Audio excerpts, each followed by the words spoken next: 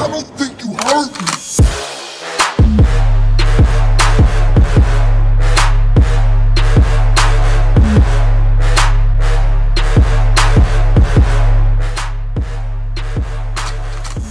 Alright, now let's get to talking about the Batman. Ever since I started doing character analysis videos, many friends and subscribers have been asking me to do a Batman video, and I've been putting it off for a long time, but I can totally understand why. He's one of the most loved characters in the DC universe, if not one of the most loved characters in all of fiction. But why is that? Why do people love Batman so much? Well, obviously, a character like Batman may have his haters, and perhaps he's just a character that many brooding, wannabe edgy kids feel they can relate to just because of how dark and brooding he is. However, I personally completely love Batman's complexity and his overall outlook on the world around him, which is one part of him that I find totally relatable. But before we get started though, I have to put the title as Bruce Wayne only because there are many versions of the Batman character, some of which wasn't even Bruce Wayne himself. There's a time where Superman was Batman and Dick Grayson was Batman. For those who don't know, Dick Grayson is the original Robin, the one who ended up becoming Nightwing. Yes, Nightwing was Batman at one point or another. Then we have Terry McGinnis, who you may know better as Batman Beyond. And finally, in the Flashpoint comic storyline, we see an alternate version of Batman where Bruce Wayne is killed by a killer as a child, causing his father Thomas Wayne to become Batman while Martha Wayne became so insane that she became the Joker. So yeah, I think you understand now why I have to dedicate this analysis video to Bruce Wayne specifically and not just Batman under that name by itself. And I have to say,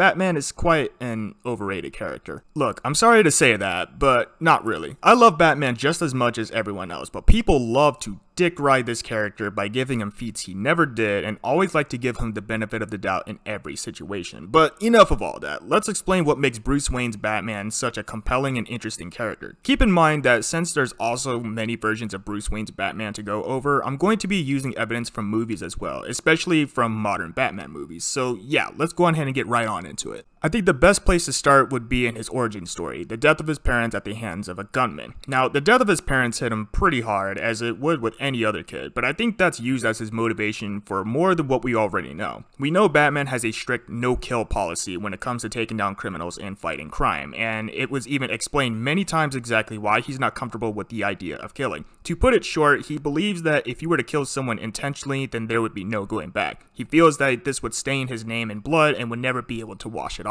And I can definitely understand why he would think this way, especially considering Batman is always known for his brutal and harsh methods of interrogation and his other work, which always has him approach the gray line of being a vigilante as to what's morally good or not. Since he approaches that gray line quite often, it makes perfect sense why he doesn't personally want to cross it, as he basically thinks that as soon as he does, then he becomes just like them. However, I think there's a little bit more to it than just that. Now, I'm not sure if it's exactly been mentioned very much, but it clearly seems that he has a genuine hatred for criminals. And he knows criminals are more likely to do the killing than he would. I personally believe he refuses to kill because if he does, he would be comparable to the assassin that murdered his parents. And I also believe that's when his hatred for criminals began. And I also believe that's where his belief of striking them with fear also began. And the bat costume, in my opinion, is meant to look intimidating enough to do that by appearance. Since Batman motivated his suit by his fear of bats, you can tell he uses the Batman persona as a means of his enemies to share his fear of bats. So, with all of that being said, we know that Batman has established his own code of morals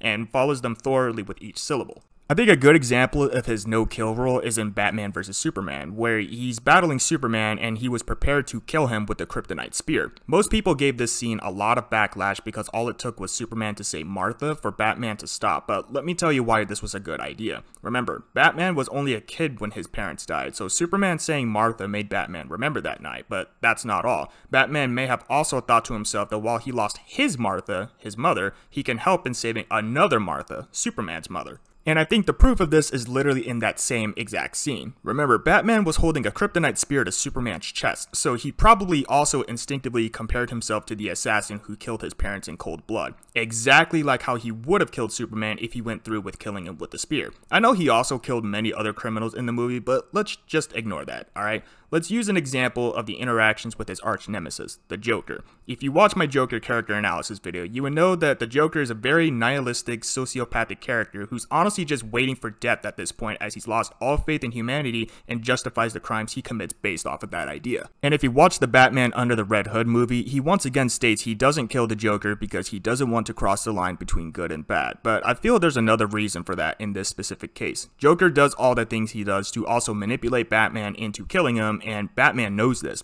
Joker often states that all it takes is one bad day for your life to turn upside down, and wants to prove to Batman that everyone has a breaking point, and tempts Batman to get to that breaking point until Batman finally decides to kill him. This is to show Joker's point of everyone having the tendency to go insane at some point. Now, my buddy Toby basically put it best this way, but to Batman, if he kills the Joker, then in his mind, the Joker wins at the very end of it. Batman wins the battle, but Joker ends up winning the war and ends up getting the last laugh. Batman is also a character with his faults, none of which he seems to try to deny. Now, he's also gotten backlash from both Nightwing and Red Hood about this, but enlisting a child to fight crime with him is definitely not something a responsible Guardian figure should do. I mean, hell, doing it pretty much got Red Hood killed when he was still Batman's second Robin. And Batman has expressed grief about this, but clearly wasn't enough for Red Hood. Red Hood is also a character I'd like to do an analysis on, so if you want to see that, just leave a comment below and subscribe to the channel, and that'll convince me enough to do the video sooner rather than later. I think another cool thing about Batman, despite me saying earlier in this video how overrated he is, is that he always thinks logically rather than impulsively thinking on his emotions. This is one of the things that makes some people argue whether or not he's a psychopath, but even if he is, that's one of the good things about him. He always takes a step back to analyze the situation at hand and also makes plans for literally any scenario that can happen. Like in the case of an apocalypse, for example. All of this stuff about Batman that makes him so complex honestly sometimes makes people forget that he's still just a human being with no superpowers or any of that. However, I think this is where we'll get a little controversial. It's because Batman is only a human being that he can only do so much in battle. It's not much of an issue if he has to take on Joker, Scarecrow, Bane, and so forth, but if he had to take on Superman, Doomsday, Wonder Woman, even Darkseid, he would get massacred. Now, people often defend Batman because he's a super genius who knows everything that he does, but in the face of overwhelming power of those who can destroy a planet simply by stepping on the crust, like Superman, for example, intelligence can only really get you so far. I plan on doing a Batman vs Superman video talking about exactly what would happen if they fought, since people still debate Batman can take on God himself, so if you want to see that, just leave a comment below and subscribe to the channel. Batman really is an interesting character, even though I've kinda clowned on him a few times in this video, he's still one of my favorite DC characters ever and deserves all the love that he gets. But anyway,